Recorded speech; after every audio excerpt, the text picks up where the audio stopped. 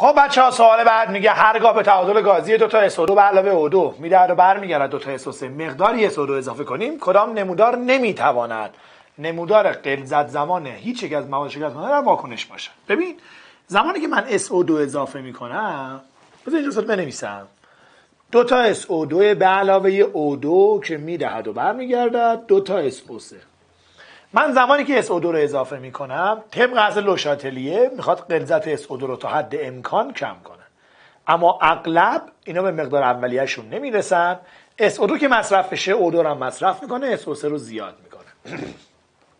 فقط در فرایندهایی که بچه ها عدد ثابت تعادل فقط به یک ماده وابسته است تغییرات 100 درصد جبران میشه. مثلا توی معادله CaCO3 که می‌دهد و برمیگردد CaO به علاوه CO2 شما اگه CO2 رو زیاد کنید دقیقا 100 درصد جبران میشه.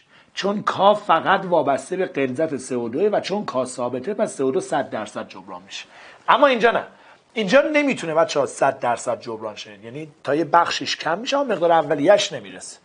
خب تنها گزینه که بچه مشکل داره همین گزینه است. گزینه سه رو نگاه کنی این دوره مقدار اولش رسیده و این غلط. به مقدار اولیش نمی‌تونه برسه. زیاد میشه کم میشه اما مقدار اولیش نمی‌رسه. اینا که نگاه می‌کنید که داره کم میشه نمودار O2 داره زیاد میشه نمودار SO3 جوابش گزینه سه